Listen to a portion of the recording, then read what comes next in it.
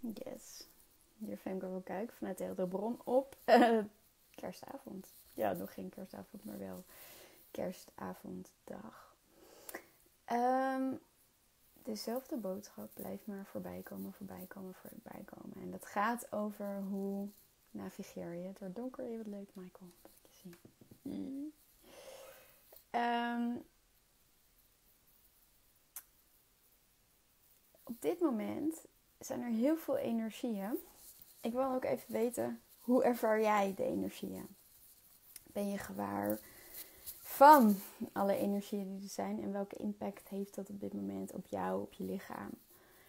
En een heel groot gedeelte van de mensen zijn op dit moment oude trauma's aan het loslaten. Trauma's die opgeslagen liggen als energetische herinnering.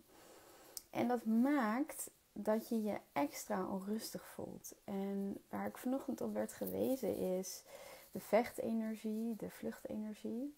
En uh, hoe je eigenlijk op een onaangename manier aanstaat. En de vraag is: is dit allemaal van jou? Want dat is de boodschap die ik elke keer um, weer terugkrijg. En vooral voor degene die de afgelopen jaren um, al heel veel innerlijk werk hebben gedaan, vraag je af of dat wat jij voelt, of dat wat jij nu op dit moment ervaart, of dat ook echt van jou is. En het collectief bewustzijn um, is heel erg in beweging, is in transformatie. Uh, er komt weer een hele grote golf van ontwaakte aan. En vooral de mensen die de afgelopen jaren al heel veel innerlijk werk gedaan hebben, stijg boven het collectief uit. Wees je bewust van welke energieën uh, er in het collectief bewustzijn hangen. Want wat gebeurt er namelijk op het moment dat iets spannend is in jouw leven? En zoals je weet, het leven vraagt je altijd om vooruit te stappen, om nieuwe keuzes te maken, om vooruit te gaan, nieuwe paden in te, in te gaan. Hè? Paden, um, dat is wat lichtwerkers komen doen, dat is wat wayshowers hier doen. En dat is spannend. En terwijl jij het spannend vindt, kun je deur, je achterdeur openzetten naar patronen, naar energieën van het collectief bewustzijn. En wees ook bewust, of word je bewust, waar kan je bewust worden, van de projecties van andere mensen. En projecties uh, van onmogelijkheden, uh, projecties van onmachtig zijn. Um, er hangen zoveel tegenstellingen in het bewustzijn. Jij die al trainingen hebt gedaan, jij die al cursussen hebt gedaan, gebruik je tools.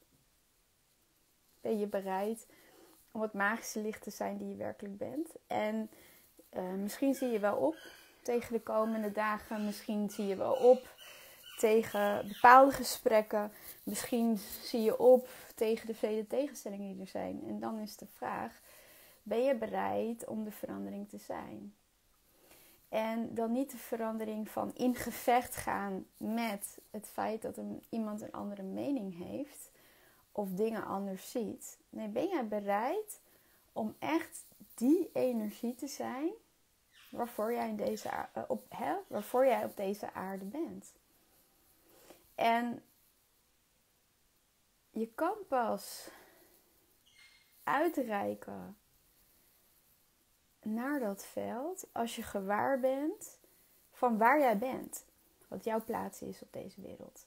En um, hoe jij op dit moment in connectie bent met je eigen lichaam. Hoe jij op dit moment in connectie bent met de vrede, het centrum in jezelf. Dus wees gewaar van die gigantische onrust. Maar wees ook bereid om elke keer vragen te stellen is het wel voor mij? Is het wel voor mij? Is het wel voor mij? Is het wel voor mij? Nee, het is niet van jou. En juist in deze tijd is het belangrijk om, om die energie van magie te zijn. En ik deed dit um, tijdens mijn 21 dagen levenskracht. Je kan energetisch al vooruit gaan naar de situatie waar je de verandering wil zijn. Daar kun je al een energetische uitkomst neerleggen. Van compassie, van empathie, van in verbinding zijn, van liefde. En hoe gek het ook klinkt, ik weet dat jullie allemaal stuk voor stuk je eigen capaciteit hebben. Dat je er bent om bij te dragen aan de vrede of aan de liefde. En ook al heb je nog moeite om dat concept te leven, omdat je bent omgegroeid in een, in een derde dimensie, ehm, weet ik dat in jouw hart die energie aanwezig is. Dus dat vind ik ook een mooie om daar eens bij stil te staan. Uh, stil te staan bij wie wil jij zijn in deze tijd? En hoe wil je omgaan met deze tijd? En hoe wil je dat deze dagen verlopen? En wees daarbij, oh, durf ook eerlijk te zijn. Eerlijk te zijn als je tegen bepaalde situaties opziet. Want het wegdrukken of vermijden maakt juist dat je in situaties kan komen die mogelijk gaan escaleren. En hoe eerlijker jij kan zijn uh, naar jezelf, hoe voel ik me eigenlijk hierbij? En wat wil ik nu? En die, die wat wil ik vraag, alleen die jezelf stellen is al magisch. En soms kan je, hoef je alleen maar te verbinden met één woord. Eén woord met een hogere frequentie. En dat als je jezelf toestaat om te zijn in die energie van dat woord, dus dat kan vrede zijn, dat kan liefde zijn of compassie. Compassie is een hele mooie. Compassie is ook een niveau waar steeds meer mensen connectie mee kunnen maken. En ik weet dat heel veel sensitieve mensen op dit moment ehm, kunnen onder alles wat er energetisch speelt. Maar dat is nooit hoe het bedoeld is. Dus gebruik je tools. En wees je gewaar waar jij nog in oude patronen zit. Of patronen van andere mensen. Waar jij technisch gezien al uit bent. En ik zal je ook nog kort iets delen over de belangrijkheid van de focus op wie jij wilt zijn en welke energie jij wil uitstralen. Wat jij in het veld wilt zetten.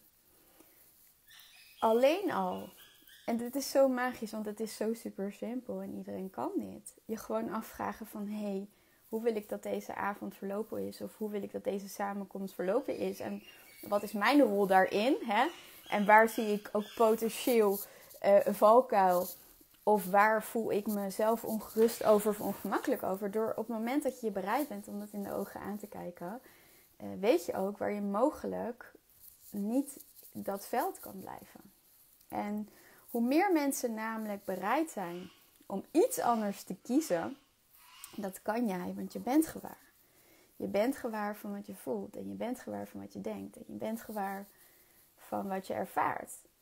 En zoals je dus ook gewaar bent van al die dingen, kun je ook gewaar zijn van wie je wil zijn. De vraag wie wil ik zijn in deze tijd, de vraag wie wil ik zijn met mijn familie, de vraag wie wil ik zijn met mijn gezin, wie wil ik zijn met mezelf, voor alle mensen die eh, toch geneigd zijn om alles te regelen. Ehm, en nu ik daar in, de, in, in die energie duik.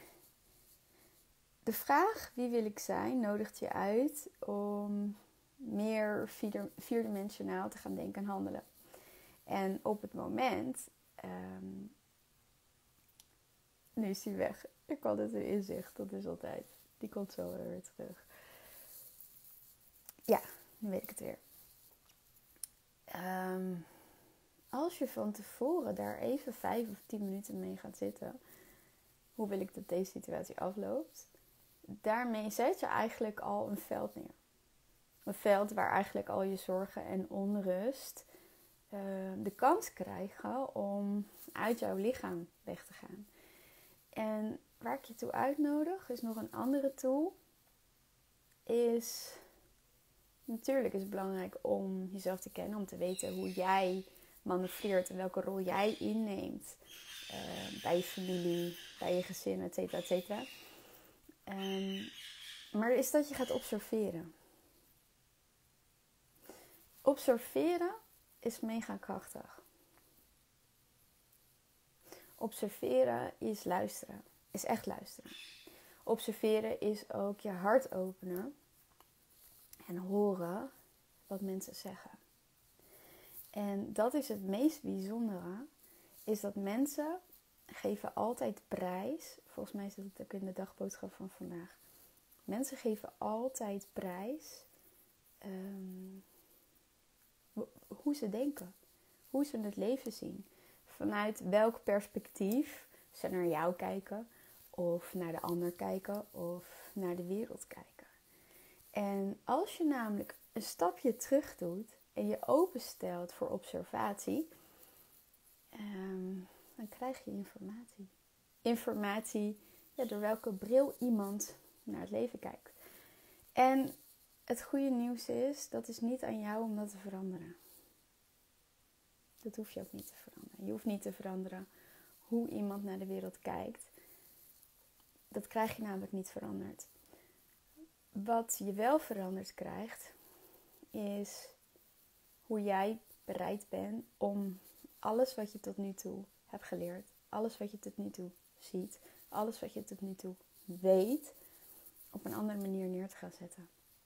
En dat is die vraag: wie wil ik zijn in deze tijd? Wie wil ik zijn in deze situatie? En hoe wil ik dat deze situatie uiteindelijk eindigt? En hoe wil ik daarop terugkijken? Dus dit zijn wel tools voor jou voor de komende tijd. Uh, tools om te onderscheiden waar je vastzit in het donker, in het probleem van anderen. Uh, vastzit in patronen die jij al geleefd hebt, die jij al doorleefd hebt. En elke keer als je daarbij een vraag stelt, is het wel voor mij. Als je voelt dat de energie gaat draaien, want het zijn energetische tools, dan weet je dat jij eruit kan en mag bewegen. Dus ik wil je langs deze weg hele fijne dagen wensen. Uh, een mooie afsluiting van 2021. Um, ehm, dit is in deze dagen, lieve mensen, in deze dagen gaan mensen altijd terugkijken. En wil je dan ook alsjeblieft terugkijken naar welke gigantische groei je hebt gemaakt? Hoe mega krachtig jij bent geweest.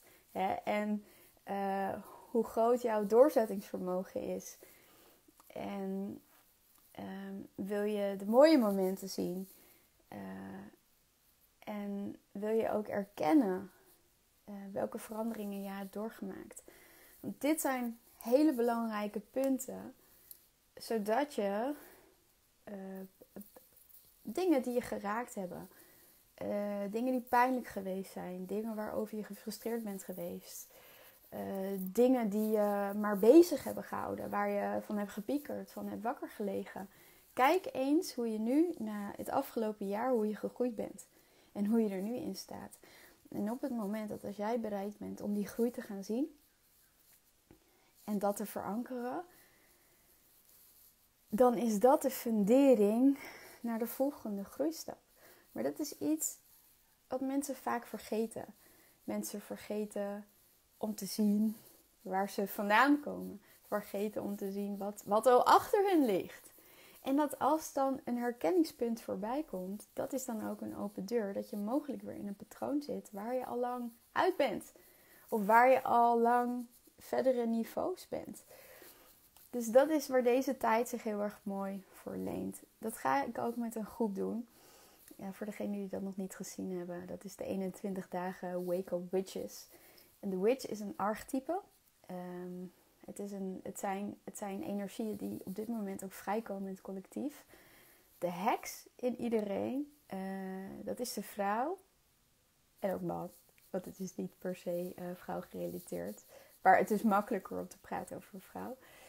Het is een vrouw die precies weet wie ze is. Die precies weet wat ze hier komt doen. Het is de vrouw die intuïtief is. Die weet hoe ze zichzelf um, kan healen. Maar het is ook de vrouw die weet dat zij de transformator is. Het is die vrouw die weet hoe zij op een magische manier situaties kan kantelen. Gewoon alleen door haar aanwezigheid. En dat is dus niet vanuit forceren. En dat is niet vanuit discussiëren. En dat is niet vanuit ik moet mensen redden. Dat is niet vanuit ik moet mensen uh, mijn, mijn, mijn visie op de wereld laten zien. Nee, dat is door zelf dat voorbeeld te zijn. Dat is door zelf die daden vanuit compassie en vanuit empathie en vanuit gezelligheid en oprechtheid, maar ook oprecht openstaan. Weet je, dat is denk ik iets en dat is ook een hele mooie om het mee te nemen voor 2022. Ik had er nog een gesprek over met mijn man. Hoe vaak zijn mensen echt oprecht geïnteresseerd? Echt oprecht. Echt, um, hoe gaat het echt met je? Niet, ja, het gaat goed met mij. En het moet maar. En we, we zetten een masker op en we maken er een feestje van. Nee, echt oprecht. Hoe gaat het echt oprecht met jou? En dat is ook heel mooi. Om mensen echt het gevoel te geven: ik zie jou, ik hoor jou, ik voel jou. Met alles. Met, met al je angsten en met al je onzekerheden en met al je frustraties. Maar met name met al je angsten. Want zoveel mensen zijn nog steeds uh, bang van binnen. En dat is iets wat een terugkerend thema is, wat ik ook blijf zien, is dat het uiteindelijk ook niet uitmaakt waar je bang voor bent. Ehm, maar die angst die mag wel, er mag compassie voor zijn, voor je eigen angsten, maar ook voor de angsten voor de mensen om je heen. En als jij dan bereid bent om die magie te zijn hè? en om uit te dragen hoe jij in het leven staat. En dat doe je door te handelen. Dat doe je door uh, zelf een voorbeeld te zijn. En dat zijn mijn klanten ook. Die, die, die geven daarin het voorbeeld. Die gaan voor op nieuwe paden. Die zijn de eerste die patronen openbreken. Het zijn de eerste die moeilijke gesprekken aangaan. En als je dat doet vanuit compassie, eerlijkheid, maar dus ook oprechtheid, dan zal je zien dat zelfs uh, de moeilijkste gesprekken uiteindelijk tot iets heel moois zullen leiden. En dat is uh, meer begrip voor elkaar uh, en uiteindelijk verbinding. Want dat is iets waar deze tijd ook voor mag gaan staan. Voor echte, oprechte verbinding. Er is al zoveel fake in deze wereld. Um, dus laten we vooral dat steeds meer zijn. Dat is waar, waar het om gaat. Um, mocht jij die training voelen, er is nu al een hele mooie groep aan het ontstaan. Wake Up Witches heet het. Wat we in die 21 dagen gaan doen zijn rituelen, healen, het afsluiten van 2021, maar ook de manifestatiecreatie van 2022. Allemaal vanuit het achterhoofd, vanuit de rode draad van de onderdrukte heks. Er zijn meerdere eeuwen waarin de vrouw de vrouw die anders denkt, de vrouw die anders voelt, de vrouw die wijs is, de vrouw die er is voor anderen op een manier die niet conventioneel is. In zoveel eeuwen zijn vrouwen onderdrukt, zijn vrouwen vermoord. We kennen allemaal de heksenverhalen. Um, en dat heeft allemaal te maken ook met patronen die je ziet in deze tijd. In deze tijd zie je dat als jij een andere mening hebt, um, die energie komt vrij van op de brandstapel of verdrinken of verlinken. Of um, dat mensen die een andere visie hebben of een andere mening, of die nou in, in het, aan de linkerkant of de rechterkant staat, hè, want feitelijk is dat dezelfde spiegel. Uh, dat soort patronen komen voorbij. En juist in deze tijd, zoals ik dat net zo um, heb uitgelegd, is het juist zo belangrijk dat we die echte vrouwen zijn. Dat we hier komen doen voor waar we hiervoor getekend hebben, als het ware. En waar we ook goed in zijn. En door aan te kijken waar je nog niet je waarheid spreekt, waar je nog klein houdt, waar je je zelfexpressie inhoudt. En feitelijk nog niet durft te zijn wie je bent. En die heksenwond, die kan heel veel angsten oproepen. Letterlijk en figuurlijk doodsangsten. Uh, ik heb begin dit jaar, of halverwege het jaar, heb ik al een training erop gegeven. En toen werd ik me ook bewust van heel veel onderdrukte angsten. Uh, die toen wel voelbaar waren, maar die ik op dat moment niet durfde aan te kijken. En de energie is heel licht. Wat de uitnodiging wel is, is om echt te gaan staan voor wie jij bent. Um, in, in alle duidelijkheid, alle, hel, in, in, in alle helderheid. Zodat jij je missie gaat leven. En komt doen waar je, waar je goed in bent. En je spirituele gaven gaat leven. En niet bang bent uh, voor het manifesteren. Uh, niet jezelf inhoudt. Uh, niet, niet je eigen groei inhoudt. En dat soort dingen. Dus het wordt een, het wordt een hele mooie reis. Heel veel onderwerpen. Um, voor nu wil ik alle mensen die het afgelopen jaar de Helderbron hebben gevolgd, dankjewel. Dankjewel voor het volgen. Dankjewel voor het delen. Dankjewel voor het reageren. En wij blijven uh, doorgaan met ons licht aanhouden. Uh, met de wayshower. Hè? En de wayshower, die, die geeft het voorbeeld. En dat is voor heel veel mensen, voor heel veel spirituele mensen, is dat ook een rol die ze mogen aannemen. Waarin ze zich mogen herkennen van hé, hey, ik ben de eerste die ziet dat het zo niet werkt. Ik ben de eerste die dus ook vooruit gaat in een nieuwe weg. De bruggenbouwers, de overgang van oud naar nieuw. En daar komt weer die onderdrukte heksenwond.